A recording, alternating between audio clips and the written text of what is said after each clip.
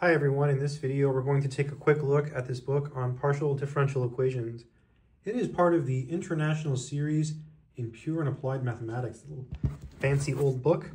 It was written by Greenspan, McGraw-Hill. Let's open it up and take a look inside. Partial differential equations, oh the smell, it smells amazing. Donald Greenspan, Purdue University, Mathematics Research Center, U.S. Army University of Wisconsin.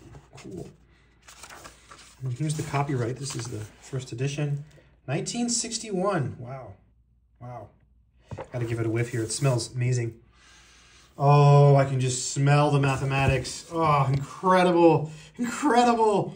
This book is designed for use in a one semester course in PDEs, which is partial differential equations, for seniors and beginning graduate students in the mathematical, physical, and engineering sciences.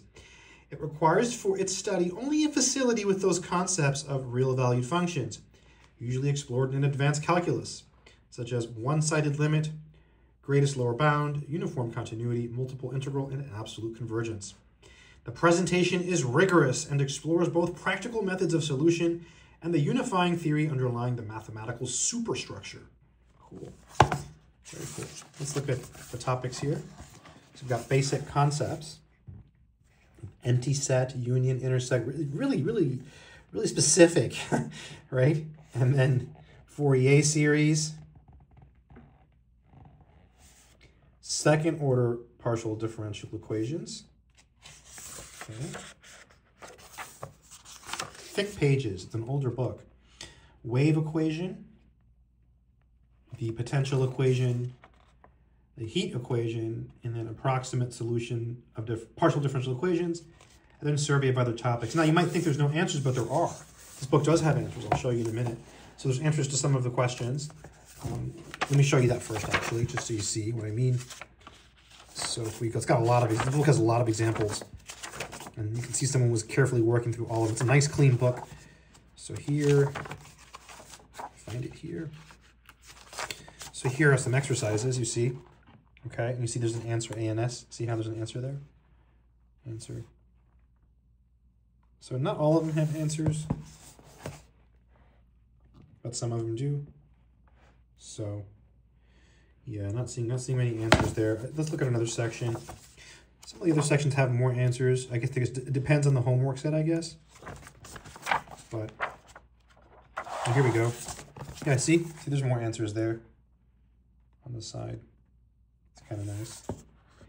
So, yeah, I mean, it would be nice if I had more answers. but yeah, it has some, so that's good. I have other PDE books, partial differential equations books, and to be honest, they're the same. They don't have that many answers. Whoever used this book before me, look at the effort. Look at that. Wow. Well, maybe it was, was this person here, Charles Benjamin Franklin Jr. Maybe he was related to Benjamin Franklin. Probably not. Yeah. So a nice solid book on partial differential equations. Um, you could learn this. You just definitely have to have some mathematical maturity. You want to know how to write proofs. Um, so ideally, yeah, have an advanced calculus class and know those concepts. And you can jump into something like this, but I'm just going to give it a whiff. Yeah, nice book. I will try to find it. I don't know if this is a, a common book, like if it's like easily available or like if it's rare. Uh, maybe it's been reprinted by Dover. Who knows, right? I don't know. I will look for it and I'll leave a link in the description. If you want to learn math, I have courses. I have a regular differential equations course, not partial, but ordinary. Uh, it's on Udemy, and if you want to get my courses, just use the links in the description of this video, and you can check them out. Until next time, take care.